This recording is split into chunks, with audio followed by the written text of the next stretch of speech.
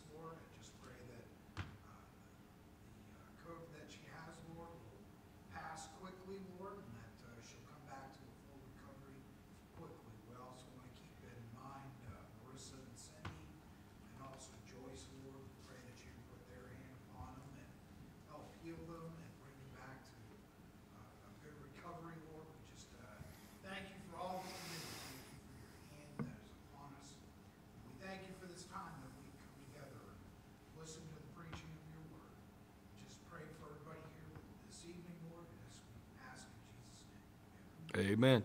Well, I'll stand this evening. We'll get ready to sing Revive Us again. We'll sing the first, second, and fourth tonight. Mix it up from last Very good. Yeah, I was going to say on Monday, please stand. Uh, Monday night, we were heard about our daily revival. Last night, we heard about our postage revival. And tonight, we need to be revived yet again. So let's sing this song together. We praise thee, O God, for the Son of thy love.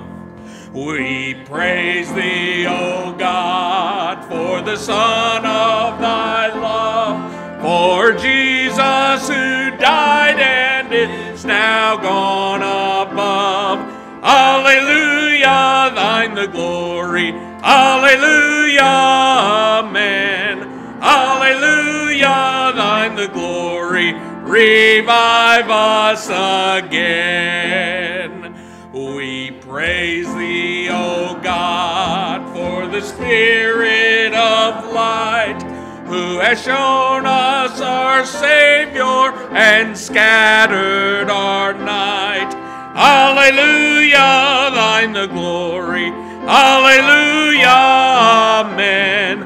Alleluia, thine the glory. Revive us again. Revive us again. Fill each heart with thy love. May each soul be rekindled with fire from above. Alleluia, thine the glory. Alleluia, amen. Alleluia, thine the glory. Revive us again. Amen. I hope you will be revived again tonight. Let's go on to Onward Christian Soldiers. We're in this fight together. We're here to be revived so we can go out and fight a little more for the souls that need Jesus tonight.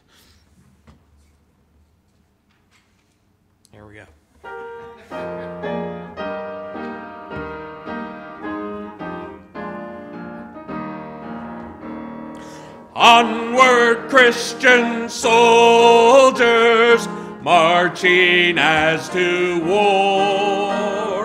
With the cross of Jesus going on before.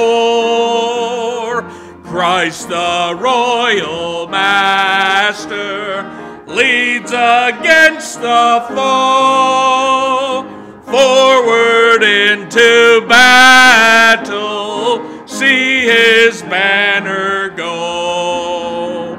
Onward, Christian soldiers, marching as to war. With the cross of Jesus going on before. Like a mighty army moves the church of God. Brothers, we are treading where the saints have trod. We are not divided, all one body we, one in hope and doctrine, one in charity. Onward, Christian soldiers marching as to war with the cross of Jesus going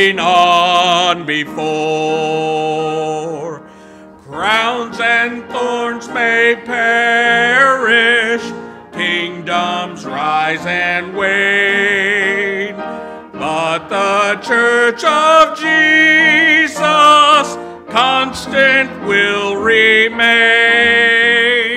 Gates of hell can never against that church prevail. Have Christ's own promise, and that cannot fail. Onward, Christian soldiers marching as to war with the cross of Jesus going on before. Onward then, ye people, join our happy throng. Blend with ours your voices in the triumph song. Glory, laud, and honor unto Christ the King. This through countless ages, men and angels sing. Onward, Christian soldiers, marching as to war with the cross of Jesus going on before. Amen. What a what a song of victory tonight. You know, that's a whole lot easier to sing even tonight after the previous two nights of the preaching that we heard. What a blessing it is. I mean, I know it would uh, by Friday night or by tomorrow night, I'm going to be absolutely whipped. I know Brother Fletcher is going to be tired after driving back and forth and all that he's put into it this week. But man, what a blessing it is uh, to be refreshed and be able to sing about the Lord our God and to hear about the Lord our God and to hear that daily revival that we heard. So, what a blessing that is. Let's go to our next song Standing on the Promises of Christ our King.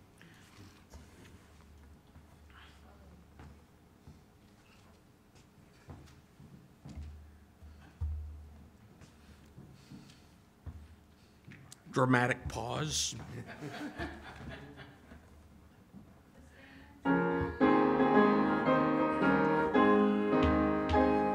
Standing on the promises of Christ my King, through eternal ages let his praises ring.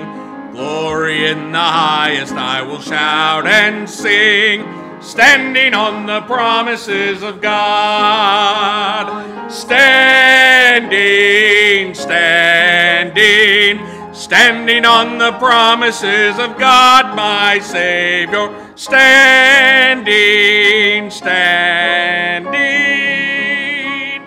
I'm standing on the promises of God, standing on the promises that cannot fail. when the howling storms of doubt and fear assail. By the living word of God I shall prevail, standing on the promises of God. Standing, standing, standing on the promises of God, my Savior. Standing, standing. I'm standing on the promises of God. Standing on the promises of Christ, my Lord. Bound to Him eternally by love's strong cord. Overcoming daily with the Spirit's sword. Standing on the promises of God. Standing, standing, standing on the promises of God, my Savior. Standing, standing. I'm standing on the promises of God. You know, Brother Fletcher, sometimes on Wednesday nights, it's just really difficult to get these folks to actually sing. You know, they come in downtrodden about halfway through the week, kind of dragging a little bit. But I think it's a credit to your preaching the last couple of nights because they're actually singing well tonight, aren't they? I got to credit y'all. It, it is a blessing to hear y'all sing tonight. So, as we sing this last verse, let's lift it up again. I just want to compliment you on your great singing. Standing on the promises, I cannot fall. Listening every moment to the Spirit's call. Resting in my Savior as my all in all. Standing on the promises of God. Standing, standing, standing on the promises of God, my Savior. Standing, standing. I'm standing on the promises of God. We even got some smiles too tonight. Can you imagine that? What a blessing that is. You may be seated. I was thinking tonight as we was singing that song, standing on the promises, about the different promises that God has given us as Christians tonight, that He would never leave us nor forsake us, that we're saved forever, and the promise that He had, there's not a prayer that He will not answer. And to the sinner tonight, He said, For whosoever shall call upon the name of the Lord, they shall be saved. And I'm thankful for those promises tonight. And we don't need to take for granted the promises of God. You know, if a lot of us would claim the promises of God, we wouldn't live as defeated as Christians. And you could preach for years on the promises of God and not even cover a third of them. And I'm grateful for that tonight. And uh, at this time, I asked Brother Fletcher on Monday night if he would sing for us tonight. And he's going to do that tonight. And he's going to go right into the message and preach and preach your mind the Lord. Close it out how you see fit. Thank you, sir. God bless you. Amen. Well, it's a joy to be back again tonight, and I appreciate the meeting and how the Lord has helped us, and I trust you've been blessed. It uh, uh, goes by fast, but uh, anyway, I pray that you'll get something that you'll carry with you uh, in the days ahead. Some of the thoughts, maybe that God will bring them to you.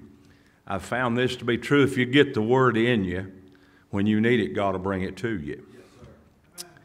And I read in the Bible many times where it's saying the word of the Lord came into him. Well, I, have had that happen to me because I've got the word in me. And I'll be out somewhere, won't even have my Bible, won't be around church or nothing. All of a sudden, I'll need a verse, and the Holy Ghost will bring it to me because it's in me. And so that's why we ought to read the Word of God. To try to get the Word in us. And I appreciate the Lord. The preacher asked me if I'd sing. I made a terrible mistake today at lunch. I ate country ham for lunch, and uh, it's so salty that I, I, I, may have to drink water all the time I'm preaching. I normally don't drink tonight, uh, when I'm uh, preaching water. And, uh, but anyway, and I'll try to do a couple of songs. Some of you, most of you don't know me and don't know anything about me, but the Lord's blessed me down through the years uh, to write songs. And I, God has blessed me. Uh, of course, my family for many years traveled and sang and Uh, they don't get to travel with me anymore. They've all got their own lives and jobs, and so. Uh, matter of fact, when your pastor knew us back in those days, the family was traveling with me, and uh, but the Lord uh, has continued to use the song ministry uh, all over the country. Folks are singing songs that I've wrote, and that's a blessing to me.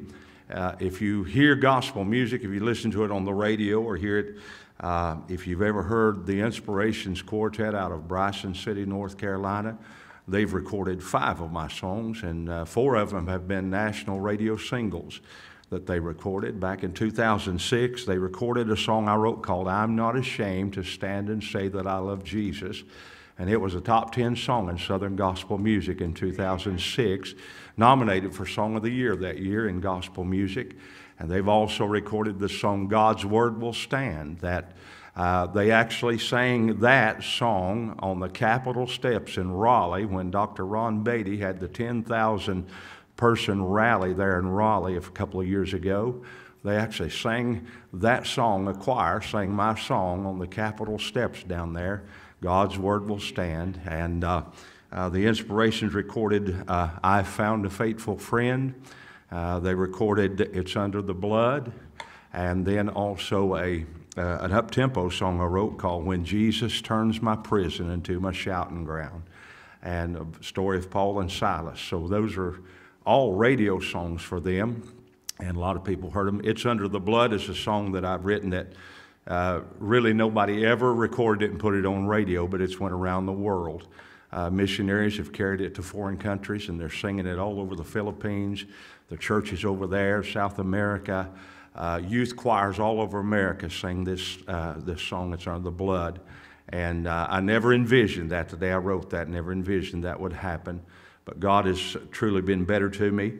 Uh, the Joyaires out of Harriman, Tennessee, have recorded a bunch of my songs, put them on radio. Matter of fact, there's one on radio right now that they're singing called When I Can't Thank Him for the Answer, I'll Thank Him for the Grace. And um, they've got it on radio right now. And uh, they also did uh, uh, Bring It All to Him on the radio. That's a song that's went uh, across the country, young people singing it. And uh, just a lot of, I've written for years and um, and I continue to write. Matter of fact, I'm going to do a new song that I've written. Uh, this is a track that um, uh, a young man out of our church made the track for me. He's a, he's a musical genius, and he made this track for me to be able to sing this. And it's a song I wrote, uh, been a couple of years ago now. And uh, I was going through a real uh, struggle, real battle in my mind, I guess you'd say. And it just felt like that the, the journey had taken a toll on me. And I felt like I was empty on the inside. And I, I was out that day in my place of prayer, and I was reading after an old writer of days gone by, and he made a statement. He said, Whenever the enemy wants to touch the life of a child of God, the first thing he wants to touch is your song. In other words, if he can take your song from you, he has an advantage over you. Take your praise from you, he has advantage over you in the battle. And that day I felt like the enemy had taken my song. I told him, I said, God, I feel like I don't have a song in here. I don't, I don't have one. And that day, as I sat and prayed, the tears streamed down my face.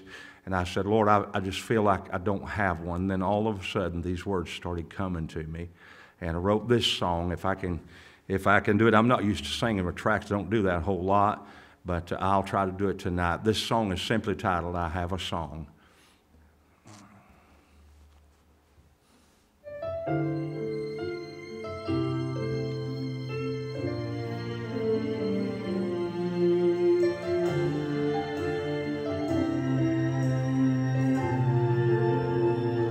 The enemy had brought me low. And from this place, where would I go? My heart was pained, my joy all gone. Then out of heaven, God gave a song the battlefield leaves many scars. This gospel way is sometimes hard, But this old world is not our home. We'll soon see Jesus and we'll sing our song. I have a song, my voice I'll raise and honor Christ with all my praise. I have a hope, my sins are gone. I'm not defeated. I have a song. Oh, yes, amen. Praise his name.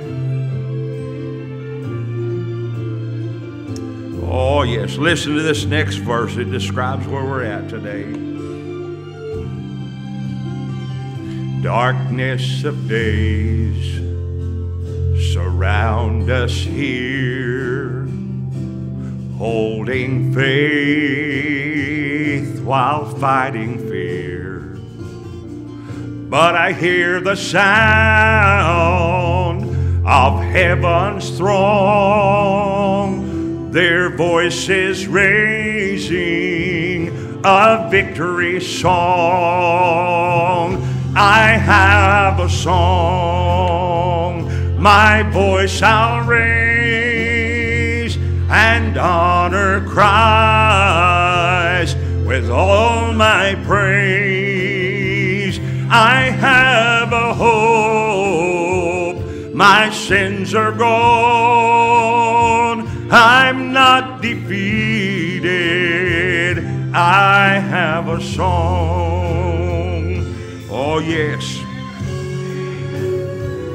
I have a song, my voice I'll raise and honor Christ with all my praise. I have a hope, my sins are gone. I'm not defeated. I have a song. I'm not defeated. I have a song. Amen. Praise his name. I'm glad I'm not defeated tonight. I have a song. Thank God for that. Amen. Amen. Well, I'm going to try to do one more tonight. Um, and I'll, I need to tell you, give you the backstory of this song. And it's a, it's a new song I hadn't practiced in a while, so I hope I can get through it without forgetting the words. Uh, uh, this is a song that I co wrote with a friend of mine.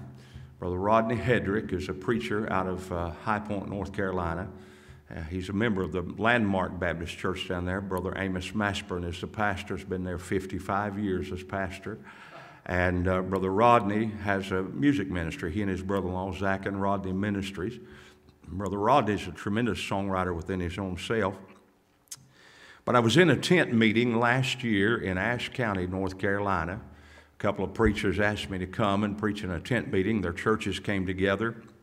And these two young preachers, they run a ministry over there. And it's a home for uh, men who have been maybe uh, hooked on alcohol and drugs. It's, it's a ministry they call Hope After Dope. And they, uh, they have several men who stay in the home. They try to help get these men uh, uh, off of alcohol and drugs and, and, and teach them about the Lord, let them get saved. And so they're doing a good work in that respect. And there's always uh, men coming and going out of that home. And uh, I went over there to preach this meeting, and I, I didn't know anything about uh, any of the men that was there or anything on, on Monday night of that meeting. And uh, uh, I got there and preached on Monday night. The crowd, pretty good crowd in the tent that night. When I gave the invitation, um, I, several people came to the altar, and the, all of a sudden there was one man came to the altar, and he knelt down. And when he did, I immediately recognized that, that the preachers, those preachers gathered around him and began to pray with him. And I so I sensed that something was going on. I didn't know who this man was, didn't know his story or anything like that. Uh, but uh, he was one of those men who had come into the home. And the, the story of this, the pastor told me after the meeting that night, as they were setting up the tent on Saturday, trying to get everything ready, they needed a platform built for the stage area. And uh, this man had actually helped them. He had some carpentry skills, and he had helped him build the platform and build the altar uh, for the tent meeting that night. And this man was lost, and he, had, he was down that night getting saved on the very altar that he had helped build. And this old boy, he didn't know anything about church. He didn't know the lingo. He didn't know the terminology. He didn't know anything. And that night, after he got saved, they stood him up in front of that crowd, as preachers do many times. And the first thing they did was stick a microphone up in his face. Now, you could tell that the last thing on this man's mind was when he went to a tent meeting that he was going to be in front of a crowd talking to a crowd. And they asked him, said, Tell them what the Lord did for you. And this old boy, he did, this is what he said that night. It's what spurred the thought for this song. He said, Well, I don't know where this all goes from here, but I sure am glad I'm gone from where I've been. And when he said that, I, I, that hit me, and I said, Oh my, that's a song in the making right there. And I called my friend, Brother Rodney. Brother Rodney, he's got a more of a country music, uh, gospel music vibe to his music. And I said, This is a song that would fit you so well. And I said, uh, See if you can get any thoughts on it. I'd already written part of it. But I said, See if you can get any thoughts on it. Next thing I knew, he called me back and he sang this to me. And uh, this is, this song simply said, I'm glad I'm gone from where I've been. And I hope I don't mess it up because I haven't practiced it and I've only done it a couple of times. But you listen to the words, it's a story song. The, this man's name was Shane. We included his name in the song, and uh, I hope I can get it. If, you if I can get it so you get it so I can hear it, brother.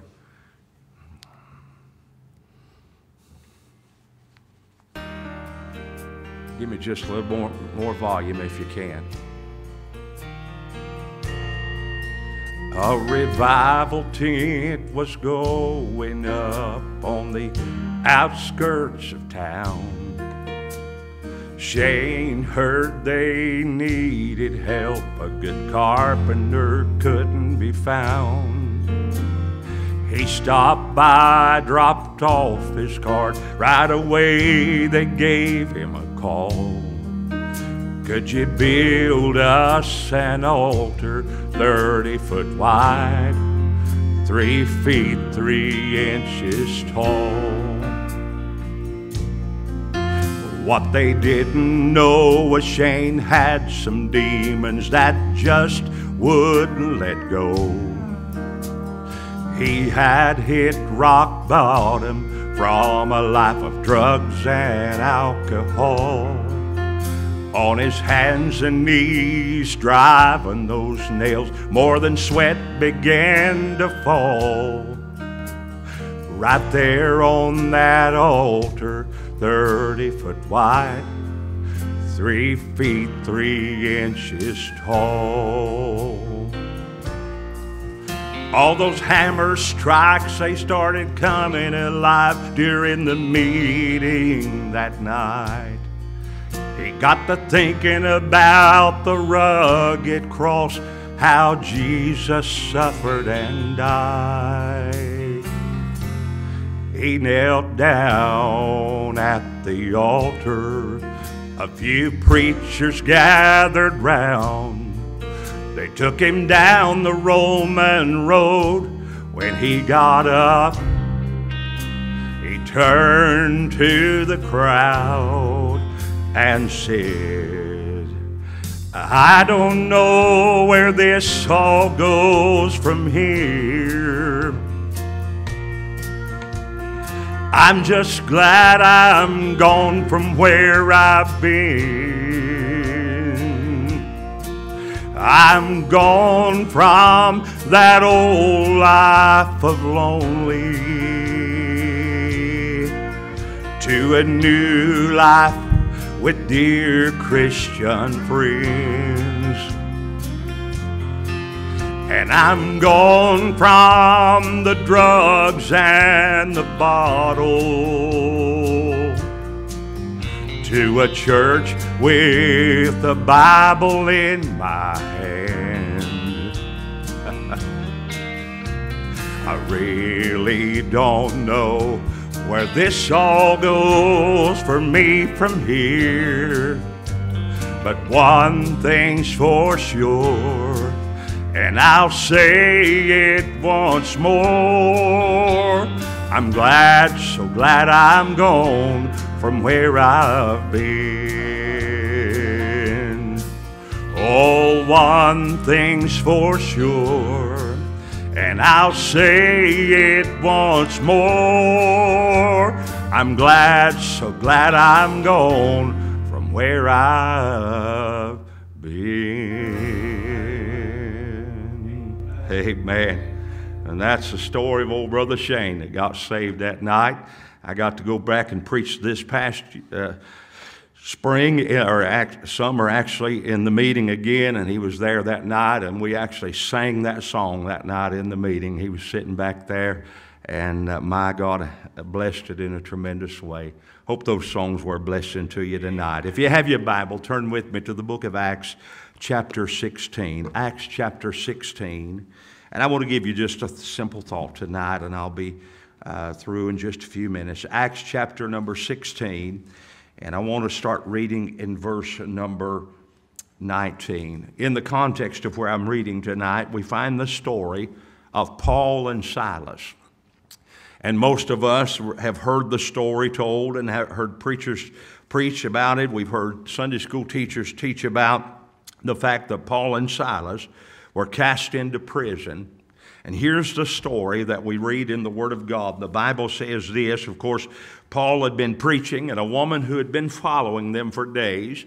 The Bible described her as a woman who was uh, possessed with the spirit of divination. And after a long time, Paul became frustrated, or uh, I guess uh, uh he, she had become an aggravation to a point that Paul turned and he cast the spirit out of this woman. And when those who had been making merchandise of her uh, saw that they had lost all their gains, they cast Paul and Silas into prison. In verse number 19, and when her master saw that the hope of their gains was gone, they caught Paul and Silas and drew them into the marketplace unto the rulers and brought them to the magistrates, saying, These men, being Jews, do exceeding tr- exceedingly trouble our city and teach customs which are not lawful for us to uh, uh, teach custom for which are not lawful for us to receive, neither to observe, being Romans. And the multitude rose up uh, together against them, and the magistrates rent off their clothes and commanded to beat them.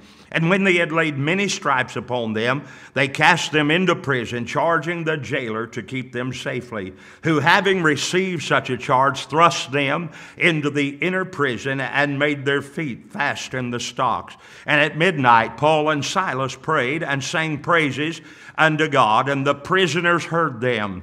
And suddenly, there was a great earthquake, so that the foundations of the prison were shaken, and immediately all the doors were opened, and everyone's bands were loosed. And the keeper of the prison, awakening out of his sleep and seeing the prison doors open, he drew out his sword and would have killed himself, supposing that the prisoners had been fled. But Paul cried with a loud voice, saying, Do thyself no harm, for we are all here. Then he called for a light and sprang in and came trembling and fell down before Paul and Silas and brought them out and said, Sirs, what must I do to be saved? And they said, Believe on the Lord Jesus Christ, and thou shalt be saved in thy house. And they spake unto him the word of the Lord and to all that were in his house. And he took them the same hour of the night and washed their stripes and was baptized, he and all his straightway. And when he had brought them into his house, he set meat before them and rejoiced, believing in God with all his house. Father, we thank you for the reading of your word. Lord, I pray that you'd help me now and enable me for just a few moments tonight that I might give the thought, Lord, that you've placed upon my heart. And God will give you praise for all you do. Thank you for what you're going to do. In Jesus' name we pray. Amen and amen. Here we find the story of Paul and Silas. And the Bible tells us that Paul and Silas, when those that had been making merchandise of this woman uh, realized that their gains were gone, they, uh, the magistrates uh, uh, charged Paul to be arrested. And the Bible said they rent off their clothes and they beat them with many stripes. And they gave them to the jailer and they charged him to keep them safely. And here's where I really want to get to tonight in this thought. And the jailer, it, it wasn't just any place that the jailer put them in the prison, but the Bible says this that uh, in verse number 23, and when he had laid many stripes upon them, they cast them into prison, charging the jailer to keep them safely. In verse 24, who having received such a charge, thrust them into the inner prison. If you study in Bible days, the inner prison, inner prison was the place in the innermost part of the prison, and many times it was a pit down in the ground. It was a, it was a low place in the prison. They didn't put everybody in the inner prison. This was a place reserved for hardened criminals. This was a place reserved for people who they were trying to prove a point to. And so here Paul and Silas is, they're not only in jail, they're not only locked up, they've been beaten with many stripes, and they're shackled hand and foot, and they're in the, the inner prison. Here they are in a place, if you think about this, the Bible talks about it being the midnight hour. There's no light in the inner prison. They're down there in the hole. I don't know if this is where the phrase comes from, being thrown in the hole or not, but it might be a good origin for it because Paul and Silas were certainly thrown in the hole. Here they are. They've done nothing wrong. They've been beat up. They've been locked up. And boy, but thank God they didn't shut up. Amen. The Bible said that at midnight, Paul and Silas began to pray and to sing praises unto God. I begin to think about that. You know, tonight, uh, as far as I can tell, nobody came in tonight with an ankle bracelet on, and most of you don't look like you just got out of jail today. And, and so, but the truth of the matter is, people sitting on our pews every Sunday are bound by an inner prison. Oh, Paul and Silas was in the inner prison, but many times the inner prison is in us. It is bound, it's binding us and, and causing us not to have the victory that we need in our life. You say, Preacher, what is it about the inner prison? There's three things about the inner prison I'll give you tonight. First of all, the inner prison was a place of intimidation.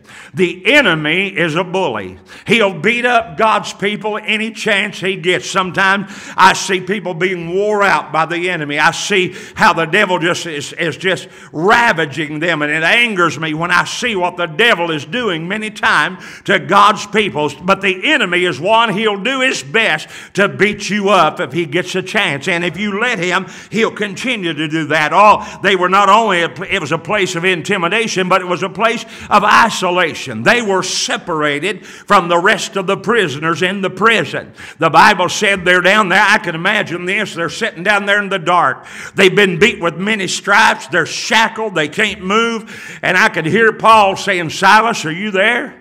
And Silas says, Yeah, I'm over here, Paul. Uh, how, how you doing? He said, I'm a hurting pretty bad. That fellow beat me pretty bad. He gave me a lot of stripes, and I can imagine Paul said, same here. And boy, I tell you, they're down there in a place, and they feel, if you've ever felt alone, it's when you're in the middle of your pain and in the middle of your struggle, and even in the middle of your low place in life, and uh, you don't feel like nobody knows where you're at and what you're going through. Oh, but I'm here to tell you, I'm glad there's a God, no matter what we're facing in life. I'm glad He knows where where we are, and I'm glad He knows what we're going through, and He knows what we're feeling tonight. Oh, it was a place of intimidation, it was a place of isolation, but it was a place of immobilization. The Bible said they are shackled hand and foot. In other words, they have stopped their walk now. They're not able to walk freely. They're, they're shackled. They've got leg irons on their leg. The enemy wants to hinder our ability to move. Amen. Can I say to you, I don't know about you, one of the greatest things I believe the enemy's done to God's people is restrict our movement. Amen. I had a lady several years ago in my church. I've known her most of my life. She's just a little bit younger than I am, and she comes she usually sits on the back row, very quiet person. You never hear anything out of her. And, And uh, one day I got a message from her over my computer, and she said, Preacher, could I talk to you just a few minutes? I said, Sure, what is it, and what do you need? And she said, Preacher said, every Sunday you give an invitation and you say something like this. Now, if you're here with a need or you've got a burden or something you need to bring to God, just bring it to this altar. Just, just give it to God. Let God have it. And she said, Preacher, every Sunday you're talking to me. Every Sunday when you say that, I know I need to come. I know I've got a burden. But she said, Preacher, sometimes I don't feel like I could make it all the way to the altar. That's what she told me. Now, this woman has no physical handicap. She doesn't have anything that would restrict her from coming. But somehow or another, she was bound on the inside to the point that she felt like she could not move. And here's what really stunned me is when she asked me this question. She said, Preacher, one Sunday, if the Lord would touch your heart about it, would you come back and help me come to the altar? And I had never had anybody ask me anything like that. And I said, Oh, my. I said, That's, a, that's an important. I said, Well, well sister, I, I said, I'll do what the Lord leads me to do. And I'll be honest with you, the more I thought about that and meditated on that, that was such a weight on me. I thought, oh Lord, I said, now God, I don't want to just do this because she's asked me to do it. I said, I want to know that you're touching my heart and leading me to do this. And we were there in the service on Sunday, and uh, I, all that uh, day in the service, I'm trying to sense the Spirit and I'm trying to uh, discern the Spirit to see if God wants me to do what she's asked me to do that day. And the choir sang, and I, I, I was preaching, and it's time for the invitation. And I'll be honest with you, I was trying to sense, but I could not get any sense from God that I needed to go back and do that for her.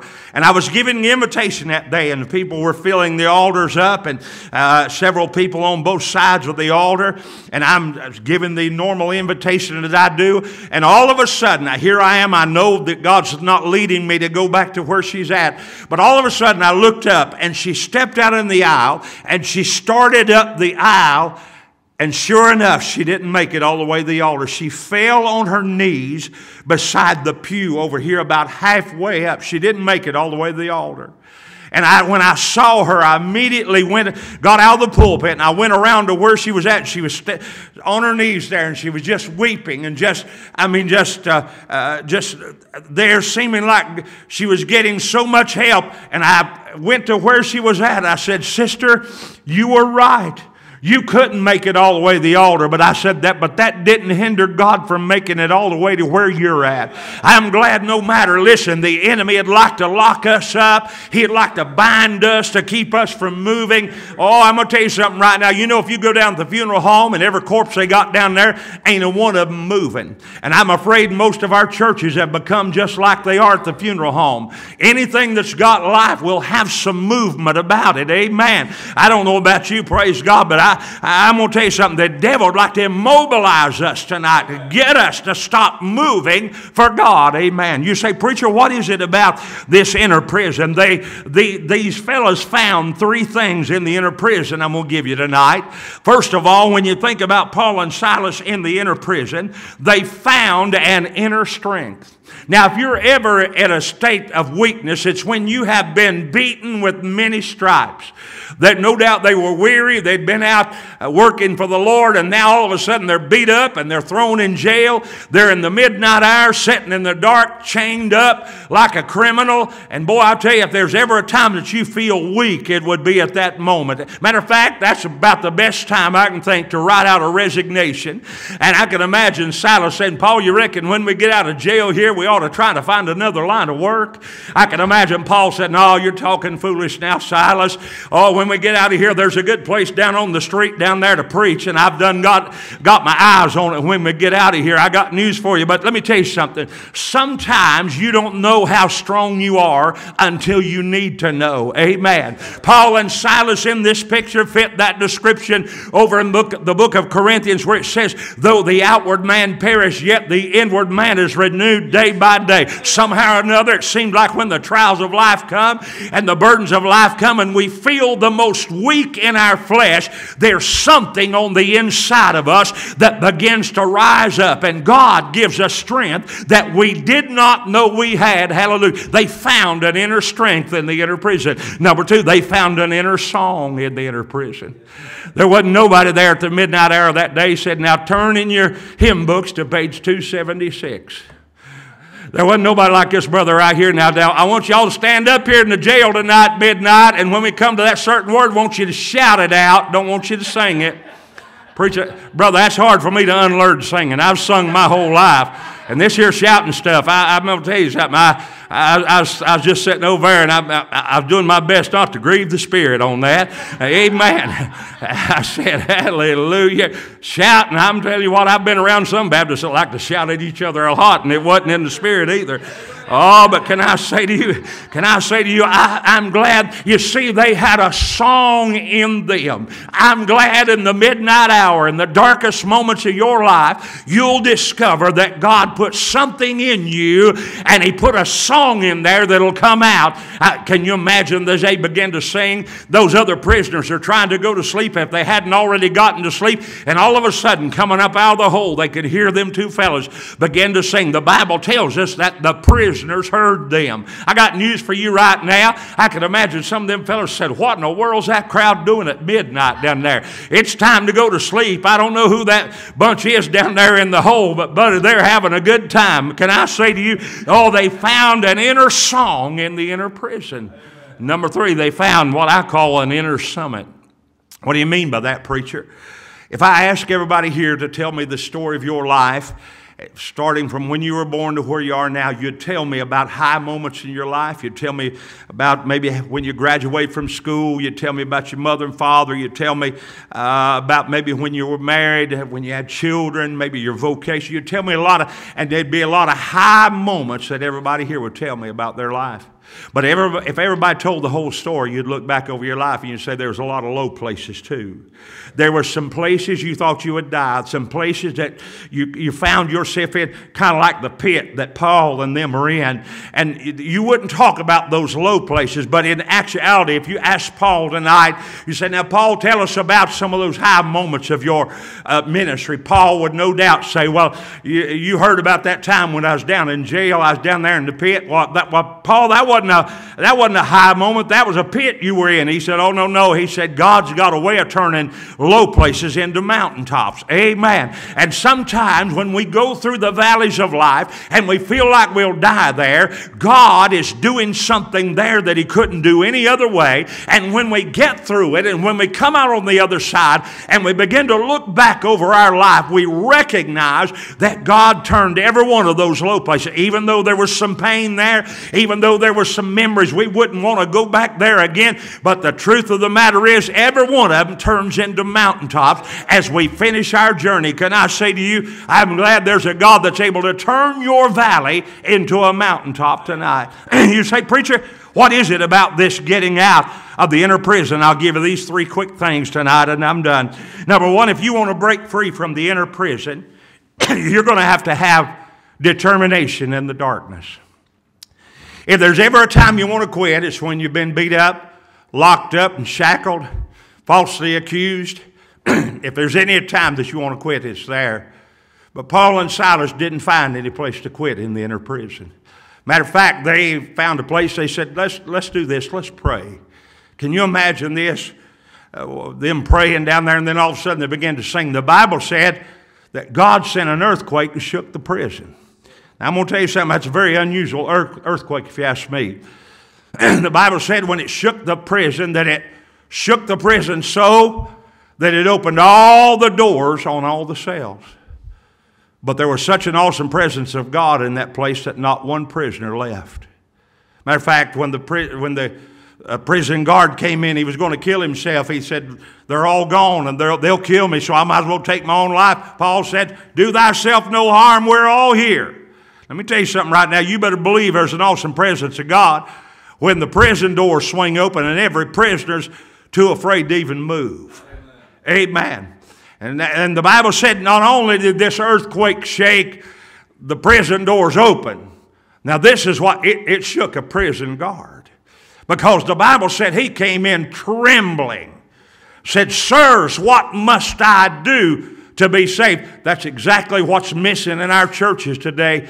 Nobody ever gets under conviction of God to the point that they tremble at saying, God, what do I have to do to be saved? And the Bible said they gave him a simple answer believe on the Lord Jesus Christ, and thou shalt be saved. Hallelujah to his name. I'm glad God's still in the saving business. But can you imagine the news reporter that might have been down at the prison that night?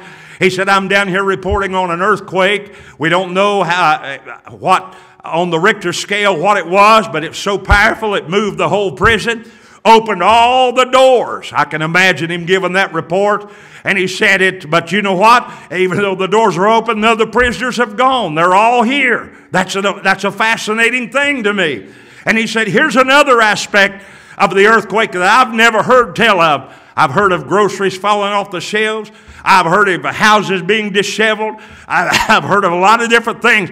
But this earthquake took off handcuffs and leg irons. Back to you, Bob. can I say can I say to you, what do you say after that? I'm glad there's a God that He can send an earthquake to set you free. Hallelujah to His name. Oh, you got to have determination in the darkness. Several years ago, I'd been at a revival meeting and I'd traveled back home late one night.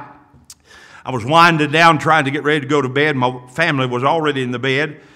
and I finally felt like I could go to sleep, so I was in the living room. I turned off the lights, and I'm walking down the hallway toward my wife and I's bedroom in the dark. I'm just walking down the hallway, and as I'm walking down, it's in the summer months that this happened. As I'm walking down, all of a sudden, there was a flash of light in front of my face, and I stopped. I thought, what was that? I, am I seeing things? What was that? And it did it again, and I recognized that a little old lightning bug had got in the house. And uh, I was there in the pitch dark, and that little old lightning bug flash, flash, flash. And I got to looking at that little old bug in that darkness, and I, I said, You know, I'm in the same darkness. He's in the same darkness I'm in, but I said it ain't bothering him near as bad as it is me because he's got the ability to create his own light. And then about the t- that time, the Holy Spirit got in the conversation. And said, "Yeah, he's got light in him." And I stood there and I thought, oh my. And then all of a sudden the Holy Spirit said, and you do too. Boy, I'll tell you one thing right now. I got such a blessing that night watching that little old bug. I said, that's how you can explain it when you go to the hospital, some little saint whose body's racked with pain, and you go to try to be a blessing to them. They don't have a good report and everything's bad, and yet you go there and you leave blessed. You leave because when you go to talking to them, all they want to talk about is how good the Lord has been to them and how blessed they are to know the Lord. And they're like that little bug, flash, flash. I mean, they, they've got nothing on the surface that they ought to be praising God for. And yet, even in their times of trial, they're giving God praise. I'm talking about that determination in the midst of the darkness. I'm glad if you want to break free from an inner prison, you got to do that. Number two, if you want to break free from an inner prison, you've got to understand you've got a direct line to the throne of God. Now, I've never been arrested. Somebody should have said amen right there.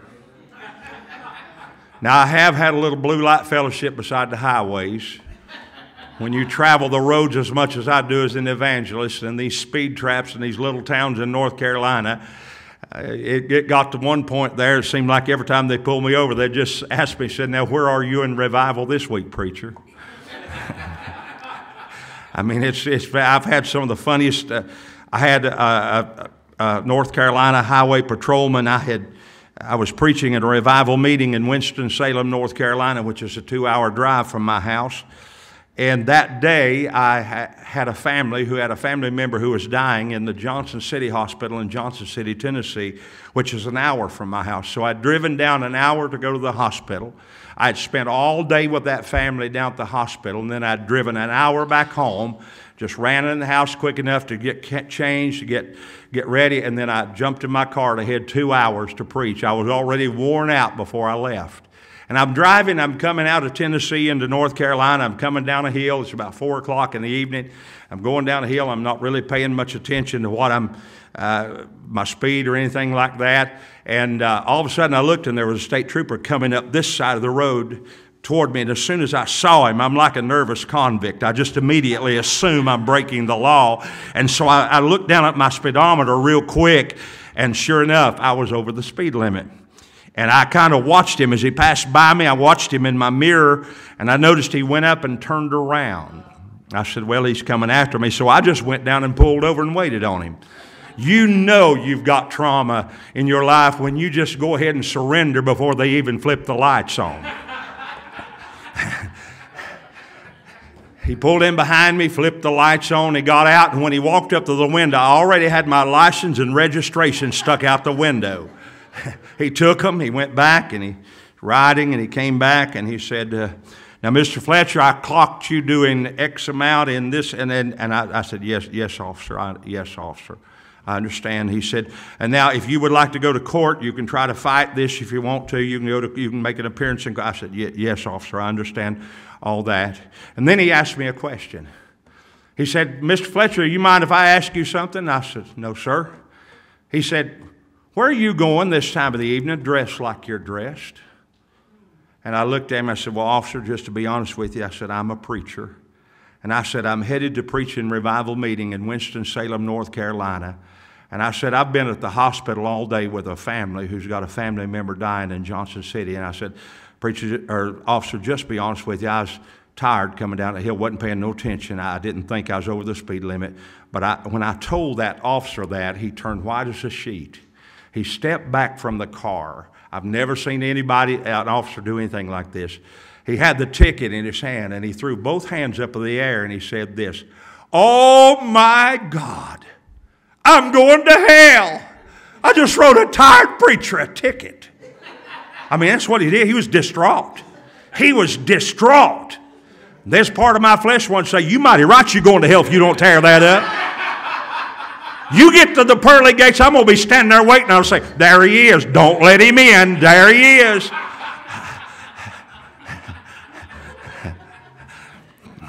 but I felt so sorry for that officer I started consoling him. I said, No, officer. I said, You guys are just doing your job. I said, uh, You're just trying to keep people safe. He said, But preacher, I can't tear it up. I've already wrote it. I said, I didn't ask you to tear it up.